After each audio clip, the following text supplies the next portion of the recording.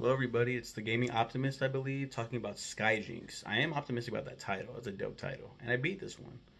Being the ace pilot you are, you're racing against time just for the hell of it. But be careful. Obstacles slow you down and should probably result in your fiery death, but whatever.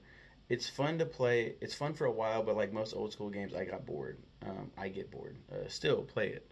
Yeah, I just like that name a lot. Sky Jinks. That's really cool. Someone was like, man, we have this game about being in the sky and getting up to getting up to some some wacky hijinks. I just I just don't know what, what the title's gonna be. You know, just, you got anything?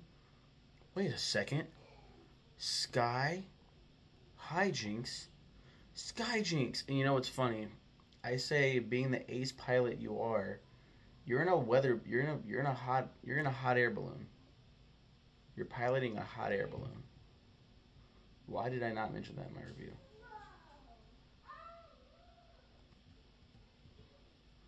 The player pilots a low-flying Seversky XP-41 airplane through a time trial to complete a game level. But why does it show? But why does it show? An like a hot air balloon. Oh, you're flying around people in hot air balloons. Okay, so you are an ace pilot. Never mind. Um. Yeah. You guys have a good one. Take care.